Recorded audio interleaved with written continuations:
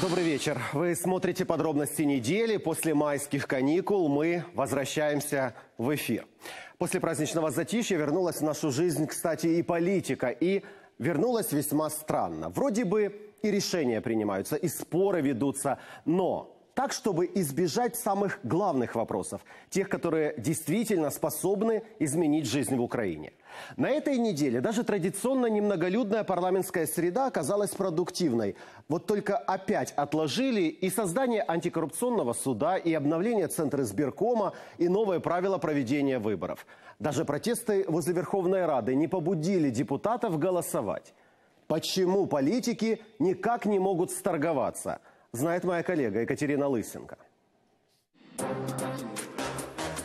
Последние несколько месяцев каждый понедельник согласительного совета начинается как день сурка с попыток спикера решить хотя бы один кадровый вопрос. Ключове кадрове питання Центральна виборча комісія.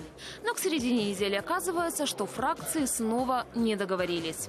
Алгоритму, як визначити з 14-13, не було знайдено.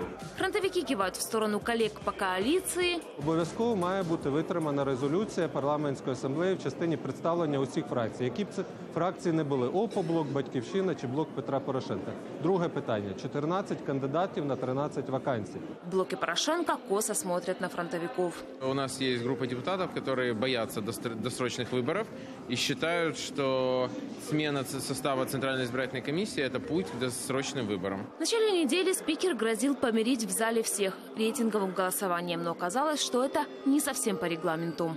У складі ЦВК повинні бути представники всіх політичних фракцій, представлених у парламенті. Це питання до БПП і Народного фронту. Вони створюють сьогодні більшість. Вони несуть політичну відповідальність за прийняття всіх рішень, в тому числі і кадрових. У нас кадрові призначення. Парламент, на жаль, який складається з двох найбільших провладних фракцій, голосує тільки в пакеті.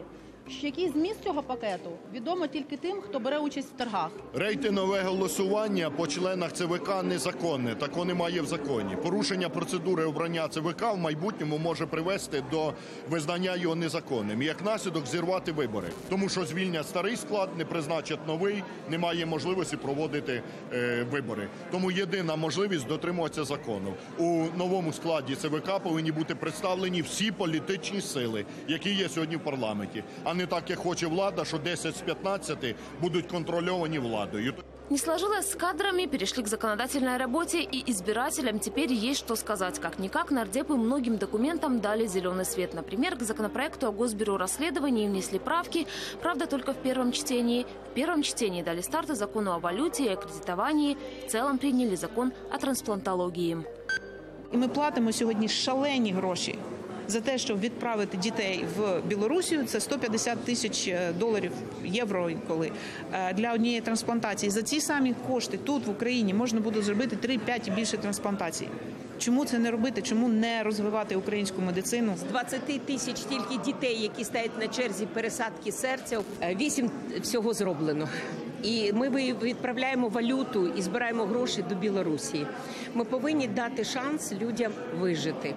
И если такие законопроекты, как о трансплантологии или защите прав интеллектуальной собственности, принимают за несколько дней, то вопросы, где есть хоть намек на партийный интерес, обсуждают неделями. Это касается и антикоррупционного суда, и ЦИК, и избирательного кодекса, проголосовать за который снова требовали активисты.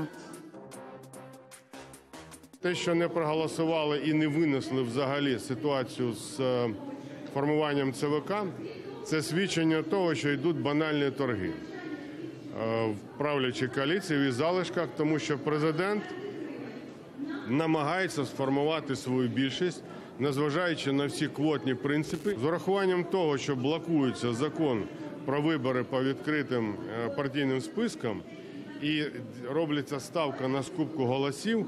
Оце два факти, які свідчать про те, що готується масштабна фальсифікація. Ми формуємо е, порядок денний не регламентними процедурами, а політичними рішеннями. І в даному випадку, наскільки я розумію, немає політичної згоди стосовно зміни взагалі законодавства на е, систему, яка буде давати можливість обирати представників за політи... за списками політичних партій, да? тобто без мажоритарки. Избирательный кодекс, к слову, пылится в Раде с прошлого года, когда его чудом приняли в первом чтении. Сейчас к нему порядка четырех тысяч поправок.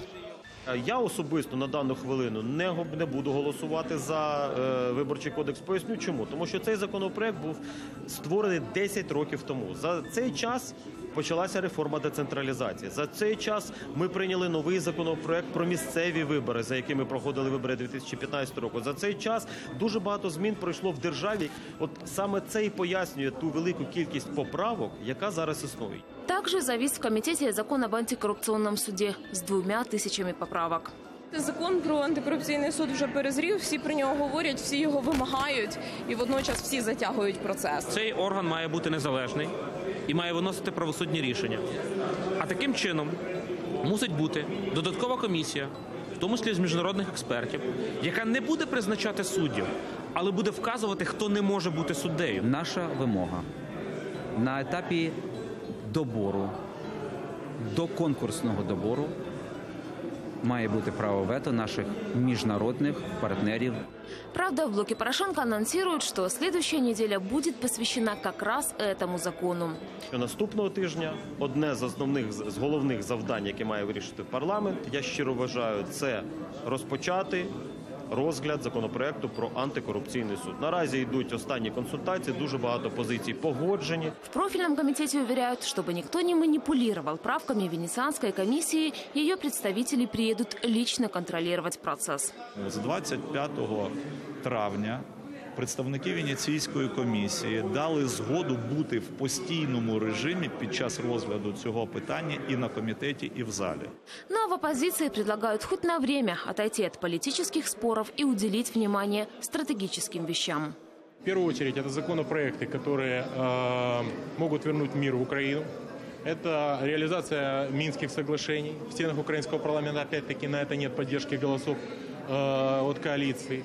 Это пакет социальных законопроектов, это улучшение жизни переселенцев, повышение социальных стандартов, эффективная работа экономики, изменения в бюджет, которые позволят э, поднять реальный сектор и направить средства в регион. Это наша повестка, но она не рассматривается сегодня, потому что парламент готовится к выборам, коалиция готовится к выборам, и голосуют они то, что может политически добавить что-то рейтингам власти. В следующей неделе у нардепов тоже пленарная. Правда, какие вопросы все-таки будут в повестке дня, в Раде решат в самый последний момент. Екатерина Лысенко, Ксения Барвиненко, Павел Лысенко. Подробности недели. Телеканал «Интер».